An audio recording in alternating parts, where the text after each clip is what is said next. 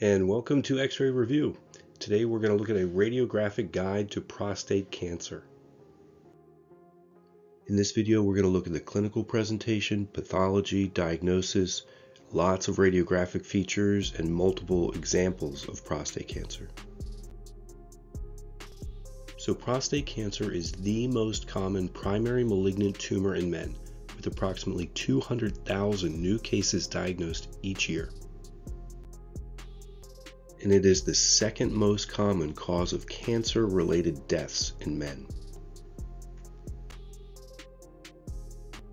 And bone is commonly involved in the hematogenous spread of prostate cancer, approximately 90%. So, what that means is if prostate cancer spreads, approximately 90% of the time it's going to go to the bone. And that's where X ray and other diagnostic imaging plays a role.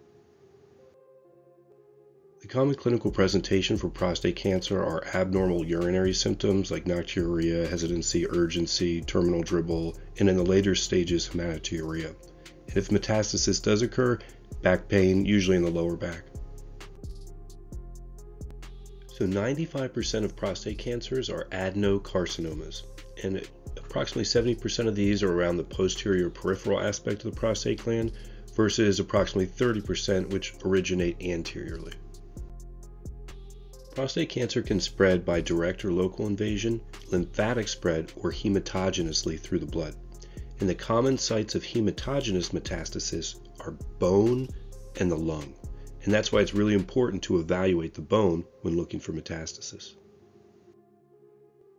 So prostate cancer is usually detected by elevated PSA or prostate specific antigen.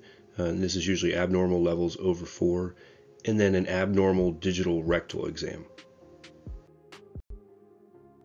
So prostate cancer is usually diagnosed through a combination of clinical presentation, abnormal digital rectal exam, elevated PSA, and then a combination of imaging findings. It could be MRI, imaging guided biopsy, transrectal ultrasonography, nuke med, or X-ray and CT. And we're going to focus on X-ray. So when it comes to the radiographic features of prostate cancer, we're looking for blastic bone mets. Uh, prostate cancer is the most common primary malignancy to cause blastic bone metastasis. So we're looking for solitary or multiple areas of increased bone density. And this sclerosis can occur as discrete nodular appearance, as mottled areas, or it can be larger regions of diffuse increased density. The most common skeletal locations of metastasis from prostate cancer are the spine, the spine, the spine, usually the lower lumbar spine and the pelvis. But the lumbar spine is three times more common than cervical spine. You're not likely to see Mets past the or distal to the elbows or distal to the knees, acral metastasis, uh, and it's not likely to be seen in the skull. Look in the spine and the pelvis. This is a good example of an increase in bone density. And if you compare the L4 vertebral body in relation to the other segments, you can see there's clearly an increase in bone density. This can be referred to as an ivory vertebra, which is often seen with things like Paget's, lymphoma, or blastic mets. Let's look at these x-rays of an individual with diffuse blastic metastasis and focus just on the bone density. As we zoom into the pelvis, you should see patchy areas of increased density kind of scattered throughout. So let's compare the abnormal bone density with blastic metastasis to an individual with normal bone density. And now you should be able to see those patchy areas of increased density a little bit better. In this example, we can see diffuse blastic metastasis throughout the lumbar spine and pelvis. And again, compare the pelvis side by side and then look at the overall dense homogeneous appearance of the lumbar spine. Alright, now let's go through multiple examples of blastic metastasis from prostate cancer on x-ray. This first example is a 67 year old male who has diffuse skeletal blastic metastasis from prostate cancer and you'll notice uh, white spots throughout the visualized bones in the lumbar spine, pelvis, and proximal femurs. This is a 66 year old male with known prostate cancer presenting with low back pain. And as you look at the overall bone density compare side by side, and you'll notice there's some big differences looking at the acetabulum being denser, the bone density in the ischial tuberosities, pubic rami, throughout the lumbar spine, this patchy areas of increased density. And this represents diffuse blastic metastasis. This is a 71 year old male with known prostate cancer with metastatic spread into the lumbar spine and pelvis. And you can see multiple areas of increased density seen scattered throughout the pelvis. This is a 60 year old male who presented with low back pain and uh, radiculopathy. And when we zoom in and take a closer look at the pelvis, you should notice some significant asymmetries in the bone density of the acetabulum bilaterally and maybe some suspect areas uh, in the ilium or sacrum as well. And this patient ended up having prostate cancer and uh, was unknown at the time of this imaging.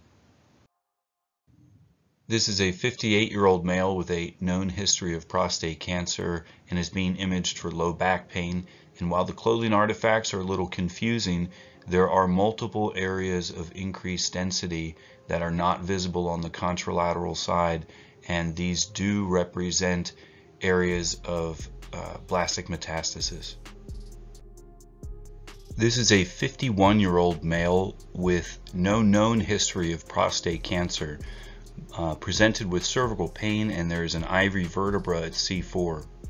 And on further evaluation, this patient ended up having prostate cancer, and this did represent metastatic spread. This is a 67 year old male with no known history of prostate cancer that actually fell and was being imaged for a possible rib fracture. And when you take a look at the bone density of the thoracic spine, you should notice multiple ivory vertebra if you look at the density of these vertebra in relation to these others, uh, there is a significant increase in bone density, and this again ended up being related to prostate cancer. In this example, there are multiple areas of increased density in the pelvis, the sacrum, as well as the L3 vertebral body. And anytime you see this type of distribution and pattern, you have to consider blastic metastasis within your differential.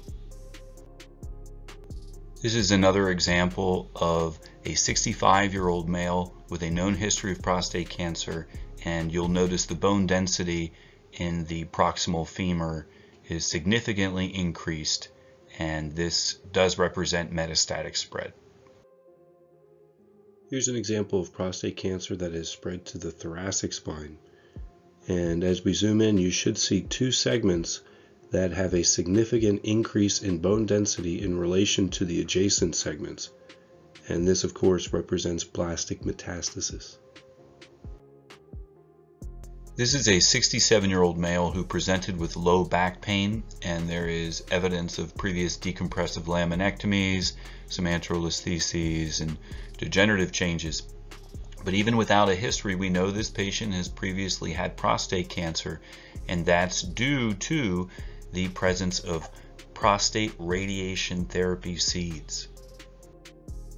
These radiation seeds are surgically implanted in order to inhibit the adjacent cancerous tumor.